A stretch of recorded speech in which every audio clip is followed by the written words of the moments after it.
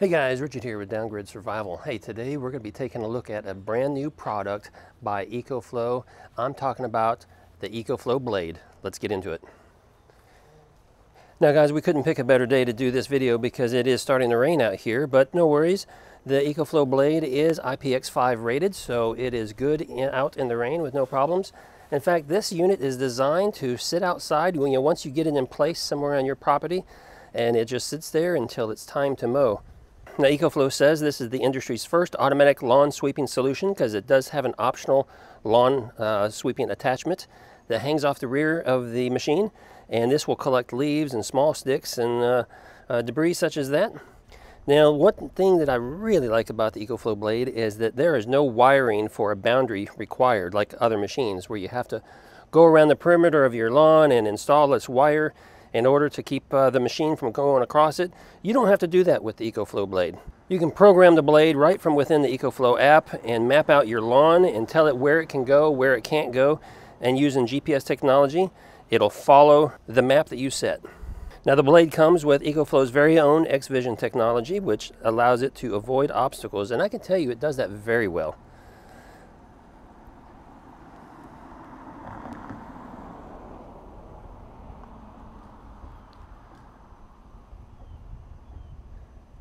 And one thing EcoFlow did was they made this easy to use and they included an anti-theft design. So uh, it's got an eSIM in there. So if someone were to come along and steal your mower, you can easily track it and find out exactly where it's at.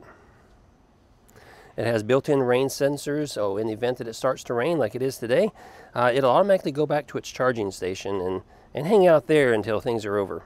Within the app, you can schedule your lawn mowing days and you don't even have to be home. And when it's time to cut your lawn, the EcoFlow will wake up and go and do its job.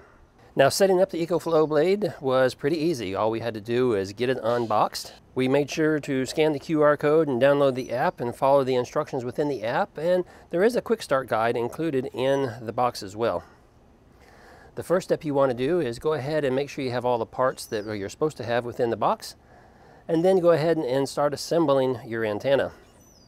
Once you have your antenna assembled, go ahead and connect it to the charging station as well as connect the charging station to an outlet so it all gets power. From there you can use the app to look for a good satellite signal. You'll be prompted to move the antenna around until you get a nice strong signal and the app will tell you where you should put your antenna. Now once you have the antenna installed, the next thing you want to do is go ahead and make sure the EcoFlow blade has a full charge and using the app, tell it that you want to go ahead and start mapping out your property. When you start the app and start the mapping process, the blade will back away from the charging station and from there, using the control pad in the app, you can start driving the EcoFlow blade to its starting point. At that point, you go ahead and tell it to start mapping and you'll use the app to drive the EcoFlow blade around your property. Now what I did is I went ahead and drove it completely around my property, making one big mowing zone, uh, going from the left side of my property to the rear of the home to the right side of the property, and then circled back all the way around again to the, to the starting point. Once you've mapped out the mowing zone, the next thing you want to do is go ahead and identify any areas that you want the blade to stay away from. This will be the no-go zones. Now it now you don't need to create a no-go zone around things such as trees and, and other obstacles in the yard because its smart technology will automatically avoid those things. But in the event that there's something that uh, maybe the EcoFlow blade uh, sensing technology doesn't pick up on, uh, you may want to identify specifically a small zone or something where you don't want it to go to. And that's exactly what I did here in my yard because I have this, uh, what's called the backflow preventer. This is a a part of the, uh, the plumbing or part of the, uh, the water supply. And every home in Florida has one of these uh, sticking up out of the yard and it's kind of a pain in the butt. But because it's kind of small and I wasn't sure if EcoFlow Blade would recognize it as an obstacle, I went ahead and created a no zone, a no-go zone around that. Now once you've created your no-go zone, you're ready to get started cutting. From there within the app, you can go ahead and schedule the days and the times that you'd like the machine to go ahead and start cutting and I was eager to go, so I had it start cutting right away. The EcoFlow blade started cutting my lawn and it stayed within the boundary that I had set and it uh, zigzagged its way back and forth until the entire lawn was cut. Now the EcoFlow blade may not be perfect for all applications, so make sure you follow uh, the guidelines that EcoFlow provides and I'll share a couple of those with you here. and that is the lawn cannot be more than a three quarters of an acre. Uh, the lawn must be cut down to about three inches or so in height. Anything above that uh, could exceed the capability of the mower. You want to make sure you mow your lawn in, on sunny days, not in the rain or snow. Your lawn should not have more than 20% shaded uh, by trees and, and buildings and other things. And I will add that the mower seems to work best with lawns that have a thinner grass. Uh, here in Florida, we have a very hardy, very thick bladed grass.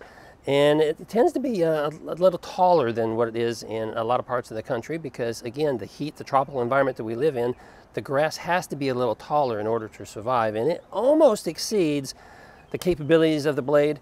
Not quite. It still operates just fine. I'm just saying that for my particular application, uh, we are really stretching the limits here. Okay guys, that's my quick introduction to the EcoFlow blade. Now I've only had it for a couple of days, so I haven't had a chance to really use it much, test it a whole lot, but look for future videos where I get to uh, maybe share some more information. And if you have questions about it, drop them down below, let me know, and I'll try to figure it out or try to provide you an answer if I have it already. I hope you've enjoyed this video. Make sure you click like and subscribe so you follow me and get more future videos about the blade because there's gonna be more videos coming out about that. Hey, until next time, be safe.